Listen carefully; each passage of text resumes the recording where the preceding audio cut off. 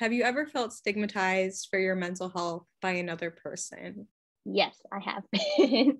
um, by people who didn't really understand because I, I used to go to therapy a lot. I used to go to therapy in high school and then I also went in college. I got it a lot more in high school than I did in college. But like every once in a while, like someone would say like an out of pocket comment.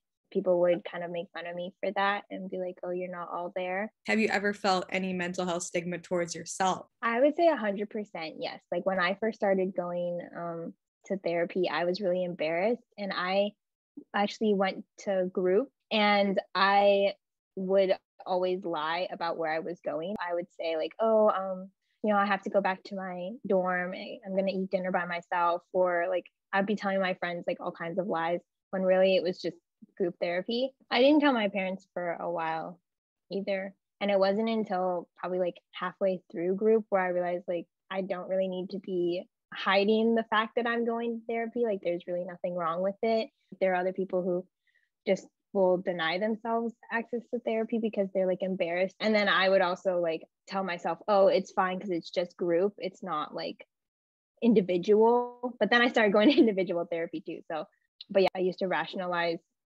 therapy being okay because I was going to group therapy instead of individual therapy. I mean, obviously, my thoughts changed because I did go through the whole process. Is mental health stigma, either from others or from yourself, a limiting factor in stopping you from seeking treatment or talking about your mental health? I would say 100% yes, because um, I actually went through like a really tough period where I just felt like completely and totally alone. And people were like telling me that, you know, go get therapy. And I was like, no, I don't want to go get therapy. Like, therapy is for people who can't fix the problems themselves. Like, basically, I thought that therapy was for people who were weak, like they couldn't do it themselves. And so I was like denying, like going and all this stuff. Um, but then there was like a triggering experience, and I called like the crisis hotline, and thus I was thrust thrusted into therapy.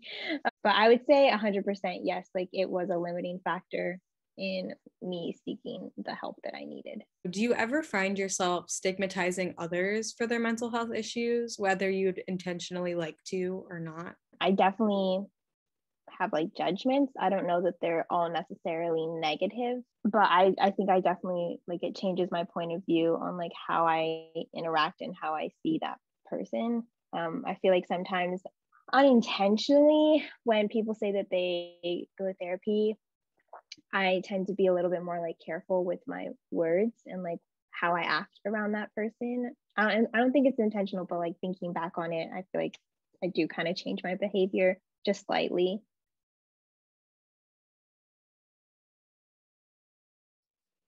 Yes. do you do you need me to elaborate more or yeah, I'm okay. I'm okay with what I said. Yes. When were you first aware of mental health stigma? So seventh grade, I had a friend and she was in therapy because she was suicidal.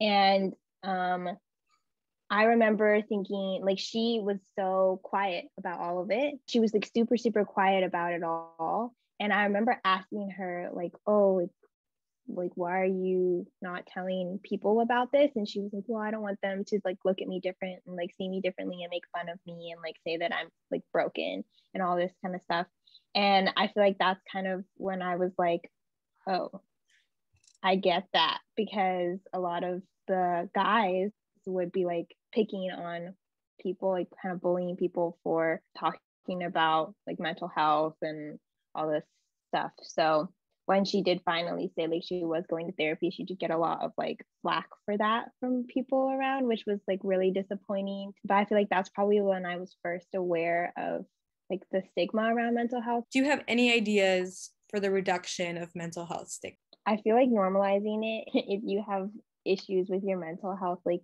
that should be just as normal as just going to the doctor for like a physical checkup. I feel like encouraging people to talk about it to others and like a lot of bystander action could be helpful too. So, Like if I do see someone stigmatizing somebody else, then I could be like, hey, stop that that's fine. Like you don't need to do that to that person. So I feel like encouraging like bystander action.